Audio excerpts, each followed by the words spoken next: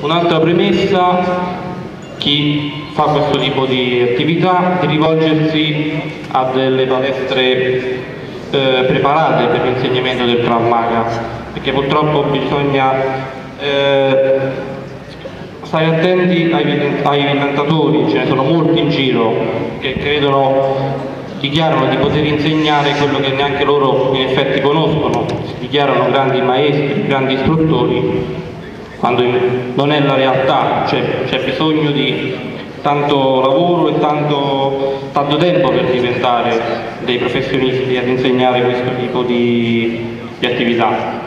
Poi, legandomi a quello che diceva il nostro responsabile, le donne, eh, qualsiasi oggetto comune può essere un'arma per difendersi, la semplice penna che si porta in borsetta, il telefonino, mi diceva. Un'altra cosa molto importante, specialmente per le donne, avete un'arma naturale, le unghie, chi porta le unghie lunghe, sì, in caso di un'aggressione, al polso, è un'arma molto semplice. Quindi ci sono tanti, una semplice bottiglietta d'acqua, come diceva il telefonino, la penna, anche il profumo, se portate il profumo in borsetta. c'è anche lo spray a peperoncino, quello per legge, quello che si può portare dietro, ma il semplice profumo, esatto, anche le chiavi dell'auto dell'automobile, quella è un'arma, usata in modo efficace diventa un'arma. Infatti, questo poi eh, più tardi faremo delle dimostrazioni di, di queste tecniche al quale vorrei che partecipaste, così le faremo tutti insieme, così vedrete personalmente di cosa, è, di cosa si tratta e di, di, quello che facciamo realmente, di quello che insegniamo. Okay? vi ricordo ancora l'invito per oggi pomeriggio, eh, aperto a tutti gratuitamente quindi ci fa piacere se, se venite. Ok? Dire, sì. fare una riflessione. Sono d'accordo che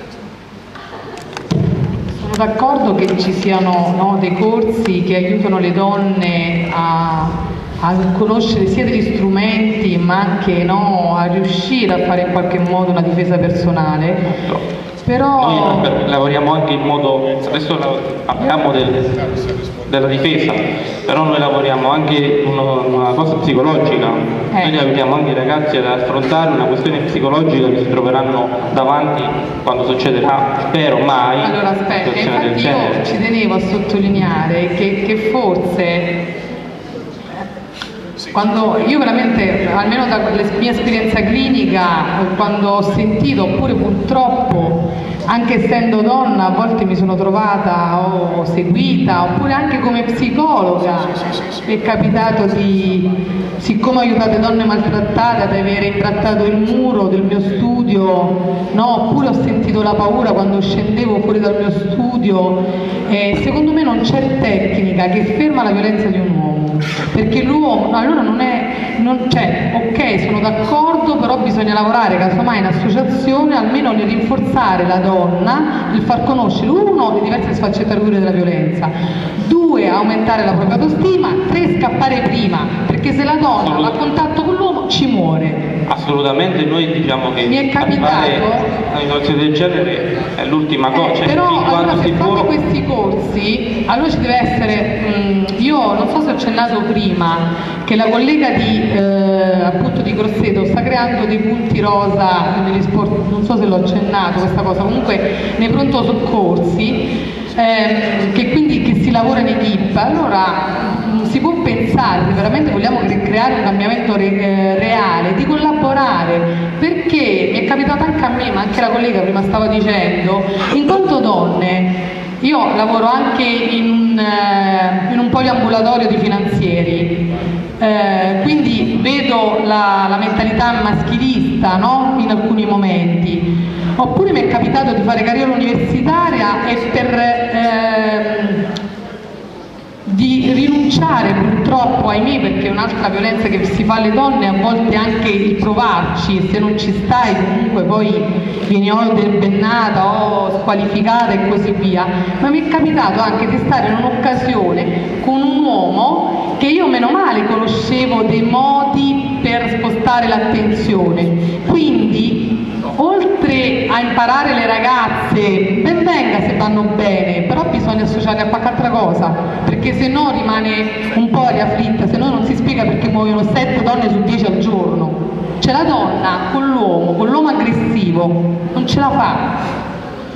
Non è, noi non andiamo ad affrontare un uh, cosiddetto combattimento con un uomo, le nostre so, tecniche sono mirate semplicemente al, nel momento di un'aggressione, riuscire a liberarsi e andare via. Noi non dobbiamo perché naturalmente un ragazzo con una ragazza... anche a livello emotivo, una... perché se la donna deve... cioè quello che prima io chiedevo un po' alle ragazze, cioè di imparare a creare una sensibilità a riconoscere l'uomo violento, perché spesso anche quando questo, si arriva sì ma noi anche, anche, per questo, diciamo quando si parcheggia Mi la macchina... questa cosa, la condivido, però secondo me bisogna fa essere fatta di più in equipe. Cioè bisogna, veramente creare... Viene fatto un lavoro nel quale cioè, la donna deve imparare ehm, a guardarsi intorno, a vedere chi ha intorno, i movimenti di una persona, sono tante cose che ti fanno capire.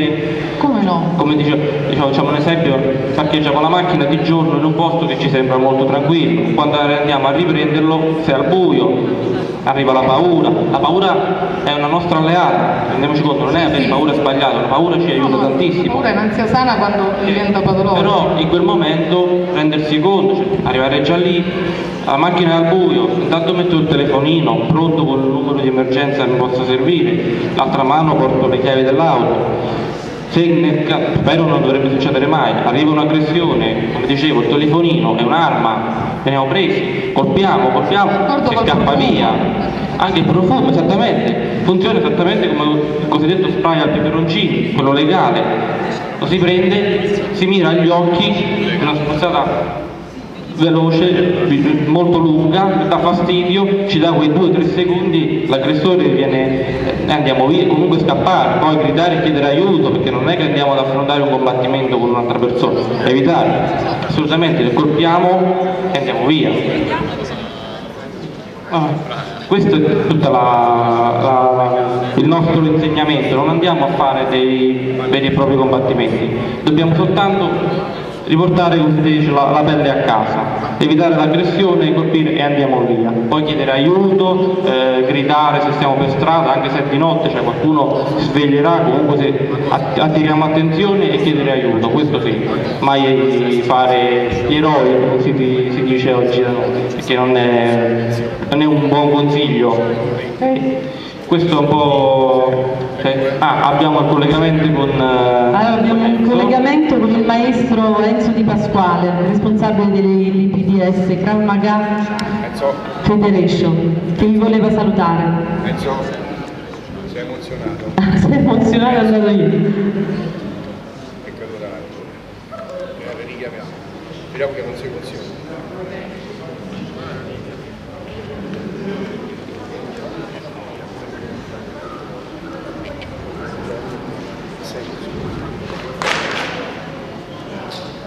Enzo, ecco eh. Enzo, allora puoi parlare liberamente, adesso stai qua in collegamento, vai. Sì, buongiorno a tutti quanti, chiedo scusa se non ho potuto presenziare a questo grandissimo evento, ma purtroppo problemi di salute, miei di salute mi hanno costretto a casa. E questa è un'importante iniziativa, da, da Filomena Gagliardi, da Angelo Veglia e da tutti quanti quelli che hanno collaborato a questa fantastica associazione. L'aggressione femminile è un argomento che bisogna prendere molto con le pinze, è un discorso molto delicato, bisogna eh, affrontarlo, avere anche la, la voglia e la capacità di poterlo affrontare, perché comunque le statistiche parlano chiaro, bisogna fare sempre molta attenzione. E, io direi, consiglio sempre, eh, vivamente tutte le ragazze che oltre la fascia d'età da 9 a 90 anni, come dico io, di, eh, di, di avvicinarsi alla difesa personale perché oggigiorno dipende dall'importo che si utilizza, è una situazione importante. Eh, concludo con eh, dei ringraziamenti ancora eh, a tutti quanti, a chi ci ha ospitato a Castelforte e naturalmente un saluto mai stesso a tutti. Grazie e buona giornata buon proseguo. Grazie al maestro Enzo Di Pasquale che come sempre ci dà delle utilissime elucidazioni sulle tecniche da utilizzare in caso di aggressione. Allora, adesso potremo andare avanti con le tecniche di dimostrazione. C'è qualche volontaria?